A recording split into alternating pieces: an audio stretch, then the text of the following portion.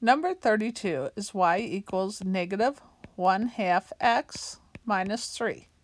So again, I write my formula, y equals mx plus b.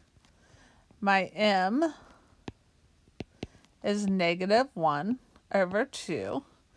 My b is negative 3. Then I'm going to draw the graph.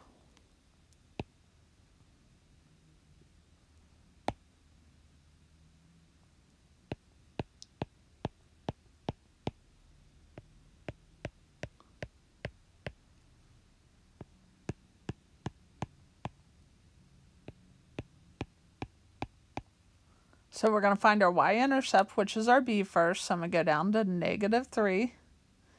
Then my slope is negative 1 over positive 2 or positive 1 over negative 2. So if I go down negative 1 and over positive 2 and put my dot, or I go up 1 and over negative 2 and put my dot, then I draw my line. That's how you graph it.